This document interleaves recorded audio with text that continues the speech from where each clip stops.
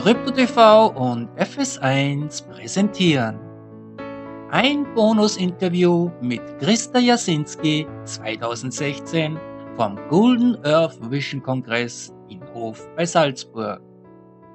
Christa berichtet über Kontakte von Wesenheiten und außerirdischen Zivilisationen, die im Inneren unserer Erde leben. Ihr Mann Alf Jasinski, ein Mitglied des damals geheimen Mola-Ordens, schrieb dies zu Lebzeiten in seinen Tagebüchern nieder und hinterließ uns dadurch ein großes Vermächtnis. Denn bis jetzt entstanden daraus drei Bücher, wo dieses Leben gegenüber uns höher entwickelten Wesensarten beschrieben wird und auch noch zusätzlich das Handeln und Wirken der hohen Mitglieder des Mola-Ordens offenbart werden. Fragen über dieses spannende Thema darf ich nun an Frau Jasinski stellen und jeder, der will, darf uns jetzt nach weit unten ins Innere unserer Erde begleiten. Hallo, schön, dass ihr wieder alle mit dabei seid bei CryptoTV. Wir hatten jetzt ein sehr, sehr spannendes Wochenende bei Golden Earth Vision, einen wunderbaren Kongress mit sehr interessanten Sprechern. Und heute habe ich die Frau Christa Jasinski zu Gast. Ich bin ja schon vor einem Jahr auf dein Buch gekommen, auf den Band 1. Da geht es ja, um das mal zu erwähnen, um die Grenzwissenschaften. In speziell um die innere Erde, oder auch die hohle Erde oft genannt. Es gibt eigentlich beides, innere Erde in der Kruste und die hohle Erde weiter unten. Ja. Und da leben unsere kosmischen und irdischen Geschwister, die was die meisten Menschen gar nicht kennen. Das stimmt, Ja. ja.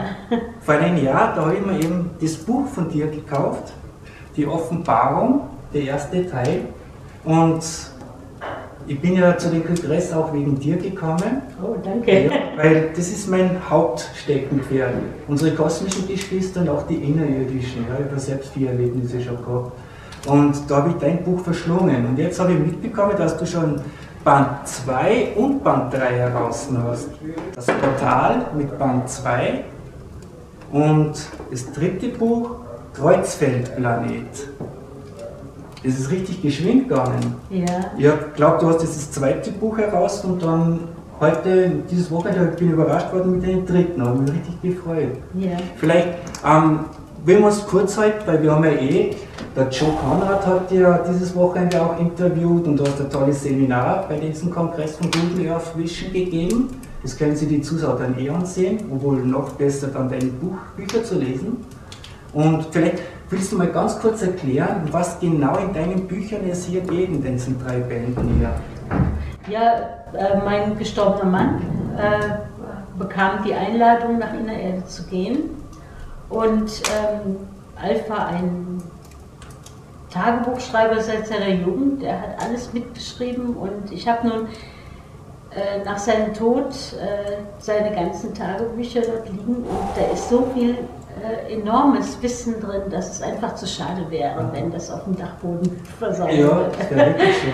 Ja, und deswegen habe ich mich entsch äh, entschlossen, ähm, ja, nachdem das erste Buch vergriffen war, habe ich dann erstmal gedacht, na, ich lege das eine Buch mal wieder auf. Habe dann äh, mein Geld zusammengekratzt und 100 äh, Exemplare mal drucken lassen. Mhm. Und dann habe ich festgestellt, die waren ziemlich schnell weg, die 100 Exemplare. Und ähm, ich bekam ganz viel Rückmeldung, dass die, die, den Menschen äh, diese Bücher viel gebracht haben. Und daraufhin habe ich dann angefangen, Buch 2 und danach auch Buch 3 relativ schnell äh, abzutippen, Dankeschön. seine Tagebücher abzutippen und die herauszubringen. Das konnte ich aber nur deshalb, weil ich auch ähm, sehr, sehr viel Unterstützung von meinem neuen Mann äh, Mhm. Gerhard habe, der das Layout dafür gemacht hat, der ganz viel Liebe auch in die Bücher bringt. Und ähm, ich denke, das ist eine gute Zusammenarbeit. Ja, und ich werde, arbeite weiter. Ich habe mit Buch 4 schon wieder angefangen. Sehr schön. Äh, Diese Bücher helfen wirklich sehr vielen Menschen weiter. Wie gerade bei mir, insbesondere bei mir mit meinen Erlebnissen, was ich als Kind gehabt hatte, da fragt man sich schon oft, ja, die Eltern sagen, ja, das hast du geträumt oder sonst irgendwo, du bist ein kleiner Spinner und so.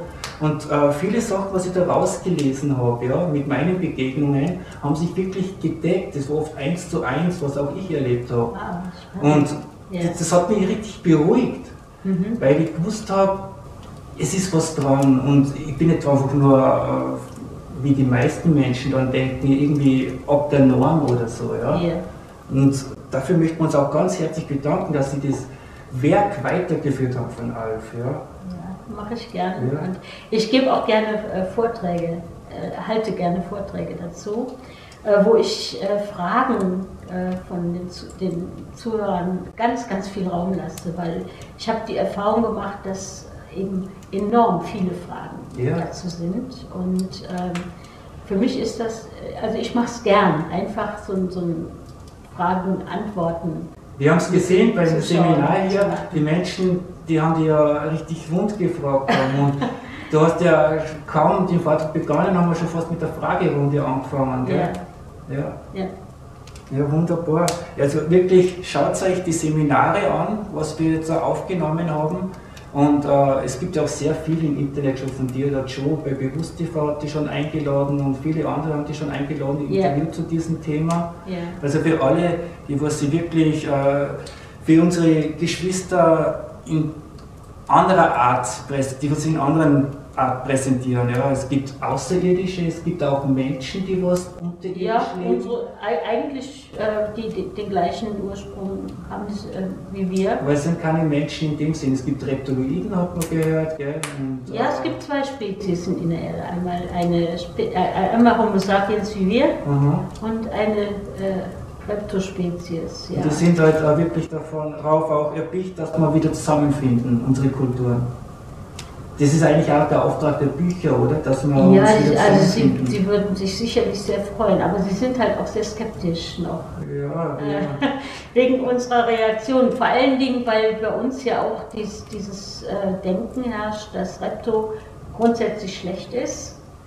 Ähm, und ähm, dadurch haben die arge Bedenken. ja, von David Guide hat man schon viel gehört. Ja, Es ist aber mehr die außerirdische Rasse, was nicht in der Erde lebt, Richtig. sondern nur außerhalb der Erde Das existiert. Gell? ja das, äh, David Icke spricht von denen, die mit unseren Regierungen zusammenarbeiten. Genau. Und da hat er sicherlich recht. Aber äh, man kann, nicht man kann nicht grundsätzlich eine Spezies verteufeln. Es gibt von jeder Spezies solche und solche. Wie bei Menschen auch. Ja. ja ganz genau. Also wirklich empfehlenswert. Also ähm, vielleicht eines möchte ich noch erwähnen. Ich habe äh, mal geschaut im Internet, äh, weil ich wollte mal schauen, wie das zweite Buch dann kommt, dass man das bestellen kann. Da sind so horrende Preise drinnen gewesen. Das stimmt das so gar nicht, gell? Nein. Äh, wir haben uns entschieden, grundsätzlich nicht über Amazon äh, Ja. die Bücher zu Und da habe ich verkaufen. reingeschaut und das sind Genau. jetzt gebrauchte Bücher, gell? Ja, genau. Also äh, es hat, haben wohl irgendwelche Menschen diese äh, Marktlücke entdeckt, dass dort bei Amazon diese Bücher nicht gelistet sind Aha. und äh, kaufen die bei uns und vertreiben die dort für 70 oder 80 Euro und das ist horrend. Also beziehen kann man die, ne, den, diese Bücher dann über... Über den no- einen- einmal über den normalen Buchhandel, die Aha. können bei uns bestellen. Wir haben eine ISBN-Nummer und über unsere Seite äh, www.gartenweden-verlag.de. Das werden wir noch einblenden dann, gell? die Daten, dass die Leute da die Bücher dann verschlingen können, die drei. Ja, äh, Frau Jasinski, dann bedanke ich mich für Ihr Vertrauen auch, dass Sie sich äh, auch um unseren Sender so, so, so bereitwillig äh, die Erfahrungen von Ihren Leben, damaligen Lebensgefährten wiedergeben und Licht in die Welt bringen. Danke. Bitte schön. Und bis bald, liebe Zuseher.